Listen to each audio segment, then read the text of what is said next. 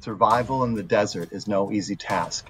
Both rock pocket mice and kangaroo rats need a consistent supply of energy to avoid predators, forage for food, and maintain body functions. But where do they get the energy? The answer lies in the carbohydrate-rich seeds the animals eat as the main part of their diet. Carbohydrates are essential macromolecules that store and provide energy for all living organisms. Hi everyone, I'm Noel Pauller, AP Biology teacher and author of the Lab Hamster Storylines. In this video, we will be exploring carbohydrates. You'll learn how to describe the structure and function of carbohydrates, including simple sugars and complex carbohydrates. We'll also examine how these molecules help rock pocket mice and kangaroo rats survive in the desert. Carbohydrates can be classified as simple sugars, which includes monosaccharides and disaccharides, or complex carbohydrates, which are also called polysaccharides. Polysaccharides are built when chemical reactions link monosaccharides together by forming covalent bonds that connect the smaller molecules into larger chains or branched molecules. Simple sugars include monosaccharides and disaccharides. These molecules may exist as linear chain molecules or cyclic structures containing rings. Simple sugars like glucose can be broken down by the body very quickly to provide a quick burst of energy, perfect for a rodent looking to avoid capture by a hungry predator. Complex carbohydrates are polysaccharides that are made when monosaccharides are connected to form large linear or branched molecules. The reactions that build complex carbohydrates are referred to as dehydration synthesis due to the water molecules that are formed as a byproduct of the reaction that creates the covalent bond between the two monosaccharides. Complex carbohydrates are important for long-term energy storage. Kangaroo rats and rock pocket mice are both granivores, which means their primary food source are seeds rich in carbohydrates.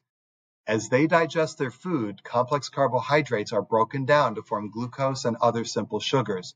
Glucose can be broken down during the process of cellular respiration to form ATP, the energy source that powers all of the animal's activities. When the animal has more simple sugars than they need to power their activity level, the monomers can be used to create glycogen. This branched polysaccharide is formed by dehydration synthesis reactions and is used for long-term energy storage. Later, if food is scarce, the animal's metabolic activity will break down the stored glycogen using hydrolysis reactions to form glucose, which can provide the energy needed for survival. The presence of many hydroxyl or OH groups on carbohydrates mean that they are polar molecules, which can form hydrogen bonds with polar water molecules. This means that simple sugars like glucose and sucrose dissolve easily in water.